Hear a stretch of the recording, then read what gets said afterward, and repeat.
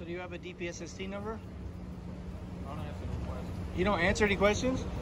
See, Oregon law says uh, upon reasonable request, you, you should give me your DPSST. You're not dealing with anything. You're a security guard. Hey, Officer Jackson, how are you? Okay, how are you? I'm do. I'm doing good, man.